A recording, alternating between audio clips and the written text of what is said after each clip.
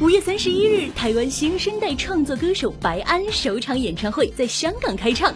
同门师兄五月天的玛莎与歌手严爵都特来助阵，气质清新的白安容易给人酷酷的感觉。演唱会上，歌迷也表现得相当斯文。直到演唱会末段，惊喜嘉宾任贤齐现身，立即掀起高潮。白安亦表现出小粉丝心态。我知道严爵跟玛莎会来，嗯，小齐哥我真的不知道，他是一个很大的惊喜。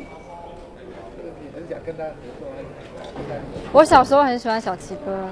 对，所以这是真的。然后，所以今天看到他来，然后还就是就是来谢谢，就很感谢吧。然后也觉得哇哦，小时候的偶像这样的感觉。白安初试提升便获得台湾第二十四届金曲奖提名最佳新人奖，师姐佳佳更是同时入围最佳新人与最佳女歌手。对于同门竞争，白安就坦荡直言，当然是希望自己拿奖。如果有人说不希望自己得奖的话，都是骗人的。对啊。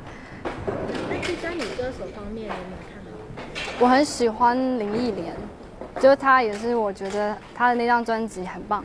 然后佳佳也很不错，佳佳的声音真的很棒。